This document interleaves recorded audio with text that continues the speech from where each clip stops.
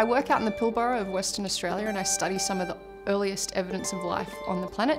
These things called stromatolites, um, and they're essentially rock structures that are built by communities of microorganisms. Stromatolites are important because they actually preserve the earliest signs of life on the planet, and what really drew me into astrobiology was the perspective that it brings on life. As you learn about science, you find out more about the world that you live in.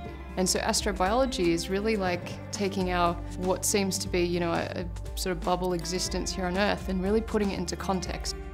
I chose to do a PhD simply because during my masters I realised how much I loved research and how much I really loved teaching. I think to be a good teacher you should be up to date with the research and I think also to be a good researcher um, or even to be a good scientist, you should be involved in teaching and at least some form of scientific outreach. We actually designed a virtual field trip based on our scientific observations in the Pilbara, and this was made for two reasons. One, to teach about geology um, early life and also astrobiology, but also to show how science is done. UNSW has been great in supporting my work. I've been able to attend international conferences, do multiple field work trips, access to optical microscopes, a whole bunch of different chemical analysis through the Mark Wainwright Centre. Anything that I really need to get done, I can usually do on campus, and if not, we have lots of collaborations with other universities that I can outsource to. There's a lot of funding opportunities and there's also a lot of postgraduate help if you go out and look for it.